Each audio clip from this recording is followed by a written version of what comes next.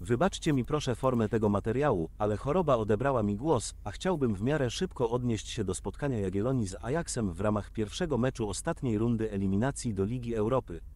Cóż, Dobra, słuchajcie, to naprawdę nie ma sensu w ten sposób.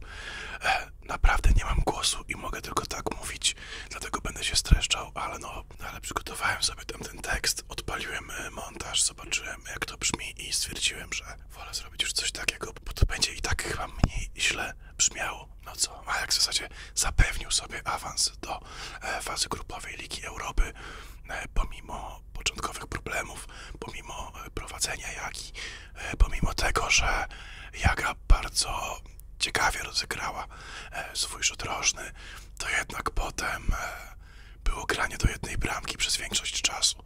E, widać było, że Ajaxowi dobrze jednak zrobiło to, e, że Bredą wystawił w zasadzie e, rezerwowy skład.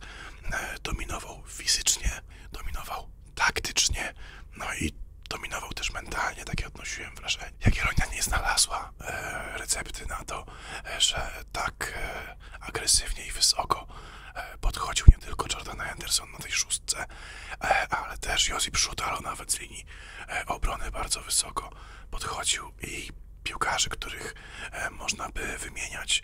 E, jest jeszcze kilku. Na pewno cieszę się, że e, Czuba Akpom, który gra fatalny sezon, jak do tej pory, strzelił trzy bramki. Może ktoś się na niego nabierze, może ktoś go kupi. Poza tym cieszę się niesamowicie, że Mika Hoc po tym jak zagrał najgorszy mecz jaki widziałem w jego wykonaniu z Bredą właśnie, że e, z Jagą wyglądał naprawdę świetnie i że był jednym z lepszych piłkarzy na boisku Steven Berghaus. No, przewidywałem, że to będzie bardzo ważny dla tego spotkania zawodnik. Nie wiem, czy jest to coś naprawdę do opowiadania. E, To był bardzo jednoznaczny mecz. Mecz z e, jedną ekipą, która była lepsza. Mecz, który pokazał, że też trzeba ufać Fariolemu.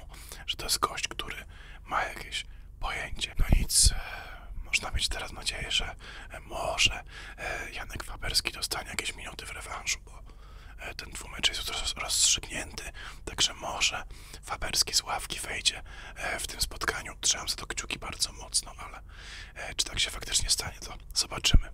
Nie sądzę mimo wszystko, ale trzymam kciuki. E, Jeszcze raz przepraszam za to, jak ten film brzmi e, do momentu, w którym się e, nie wykaraskam ze swoich problemów. Nie będę nagrywał, bo to nie ma sensu. E, Także e, wybaczcie mi proszę,